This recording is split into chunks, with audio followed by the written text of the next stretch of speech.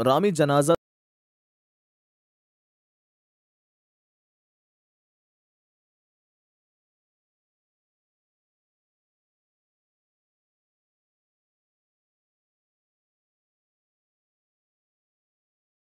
दोस्तों, अगर आप भी यशस्वी जायसवाल को खतरनाक बल्लेबाज मानते हैं तो वीडियो को लाइक ज़रूर कीजिएगा। दोस्तों आईसीसी ने यशस्वी जायसवाल को बनाया प्लेयर ऑफ़ द मंथ तो क्या बोले पाकिस्तान के तमाम दिग्गज? जी हाँ दोस्तों, इस महीने के लिए आईसीसी ने जायसवाल को प्लेयर ऑफ़ द मंथ का अवार्ड देकर सम्मानित किया है, जिसके बाद पाकिस्तान के दिग्गजों का बयान सामने आया है। इस बीच वसीम अक्रम, रमीज राजा से लेकर शुएब अख्तर, शाहिद अफरीदी ने एक ऐसा बयान जारी कर दिया, जिसको सुनकर आपके भी होश उड़ जाएँगे।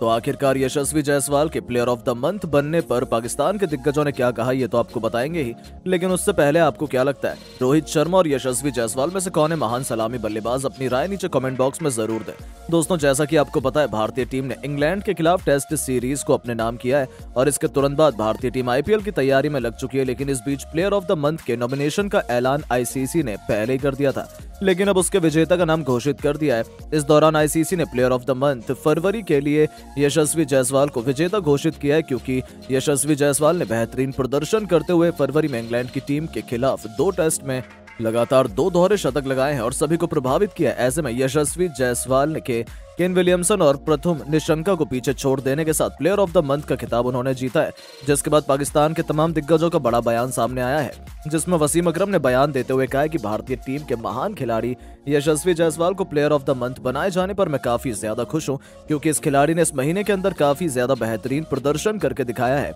और बताया है कि ये खिलाड़ी आने वाले समय में भारत का सबसे खतरनाक बल्लेबाज बनने वाला इसके अलावा उन्होंने आगे बयान देते हुए कहा है कि यशस्वी जायसवाल ने टेस्ट मैच के अंदर काफ़ी ज़्यादा बेहतरीन प्रदर्शन किया और पूरी दुनिया को बात कर चेतावनी दी है कि इस खिलाड़ी से बचकर रहने की आवश्यकता आपको पड़ने वाली है, क्योंकि इस खिलाड़ी ने अपने प्रदर्शन के ज़रिए पूरी दुनिया को दीवाना बना लिया और इसी वजह से आज इसको प्लेयर ऑफ़ द मंथ का भी अवार्ड मिला है। तो वहीं रमीज राजा ने बयान देते हुए कहा है कि भारतीय टीम के महान खिलाड़ी यशस्वी जायसवाल को प्लेयर ऑफ़ द मंथ बनाए जाने पर मैं काफ़ी ज़्यादा खुश हूँ, क्योंकि जिस प्रकार से इस खिलाड़ी ने भारतीय टीम के लिए बेहतर प्रदर्शन करते हुए टेस्ट सीरीज़ में जीत को काफ़ी ज़्यादा आसान बना दिया था, वो इस खिलाड़ी के लिए काफ़ी ज़्यादा फ़ायदेमंद साबित हो रहा है। और मुझे लगता है कि इस खिलाड़ी के बिना भारतीय टीम टेस्ट सीरीज़ को नहीं जीत पाती। इसके अलावा उन्होंने आगे बयान देते हुए कहा है कि भारतीय टीम के लिए यशस्वी जायसवाल अगर बेहतरीन बल्लेबाजी नहीं करते तो शायद भारतीय टीम को इंग्लैंड के खिलाफ सीरीज़ के अंदर जीत नहीं मिल पाती। और शायद इसी वजह से इस खिलाड़ी को प्लेयर ऑफ़ द मंथ का अवार्ड मिला है। तो वहीं शोएब अख्तर ने बयान देते हुए कहा है कि यशस्वी जायसवाल ने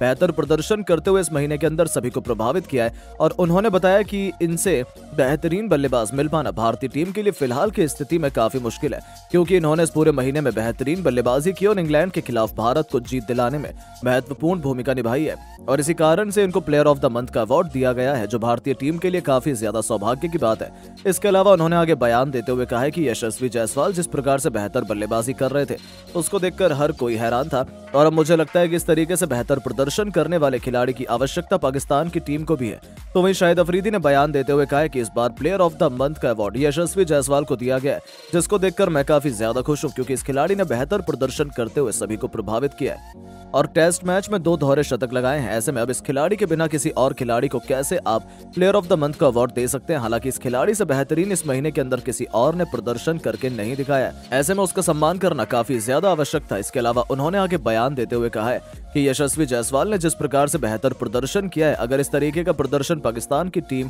की तरफ़ से कोई करता है तो मुझे काफ़ी ज़्यादा खुशी होगी, क्योंकि अवार्ड कोई छोटा मोटा अवार्ड साबित नहीं है। तो दोस्तों, आपको क्या लगता है, यशस्वी जायसवाल को प्लेयर ऑफ़ द मंथ चुनकर सही किया या गलत, अपनी राय नीचे कॉमेंट बॉक्स में ज़रूर दें। और ऐसी शानदार खबरों के लिए चैनल को सब्सक्राइब ज़रूर करें। धन्यवाद।